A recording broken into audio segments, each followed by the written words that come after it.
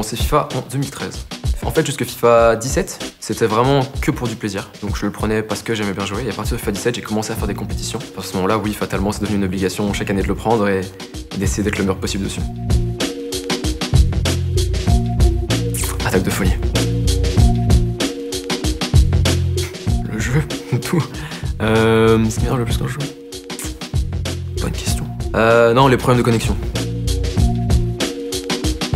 Très peu, peut-être une depuis trois ans. Donc elle a terminé euh, comme le bureau. Enfin, j'ai frappé dans la manette dans le bureau et bon ben, la manette marchait plus trop quoi. Et le bureau non plus. Personne veut me jouer en fait. Euh, quasiment personne veut jouer contre moi.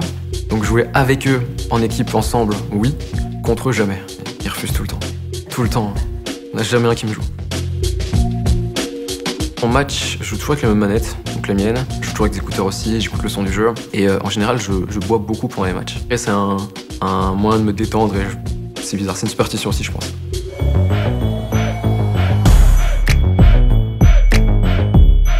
Vraie vie. Vraie vie. Hmm, non, FIFA. FIFA. Bon, pas pute. Bien sûr.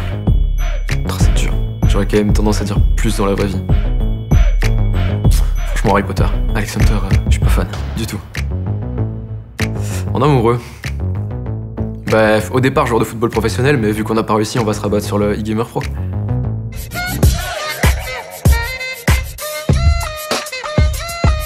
Ouais, j'aime. J'aime aussi.